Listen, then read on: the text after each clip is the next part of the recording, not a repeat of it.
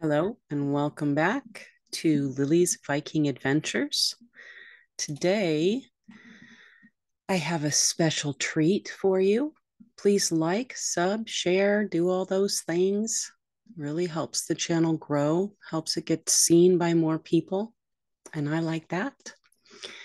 I'm going to talk about a North African warrior queen from the 7th century. Her name was Kahina she was a Berber Amazigh warrior queen and seer who led her people against the Arab invasion of North Africa in the 7th century CE.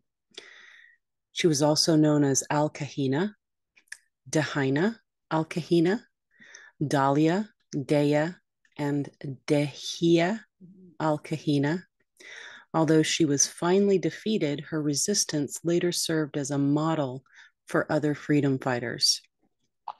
Her birth name was Dahia or Dahia, uh, or some variant thereof, the beautiful gazelle in Tamazight language of the Amazigh.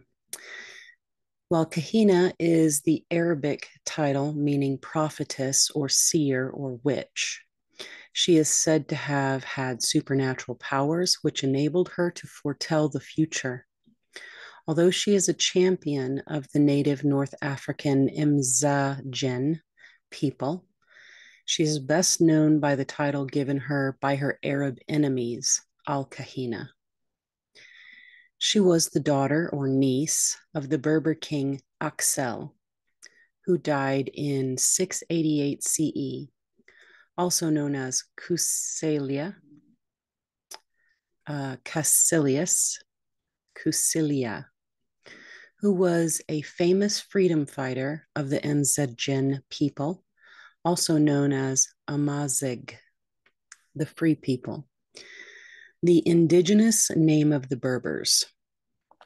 Little is known of her life outside of her conflict with the Muslim, Muslim Arab leader Hassan ibn al Numan, who died in 710 CE, whose Umayyad armies campaigned across North Africa.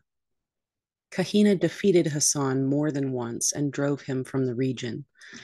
Legend then claims that she engaged in a scorched earth policy to deprive the invading Muslims of any profitable goods, and that this course led to a loss of support from her people.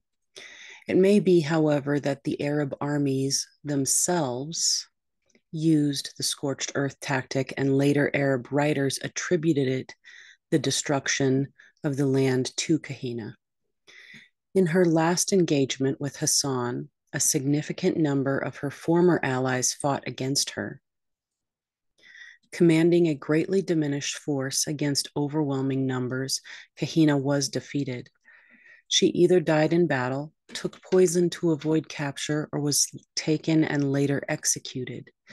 Dates given for her death vary between 698, 702, and 705 CE.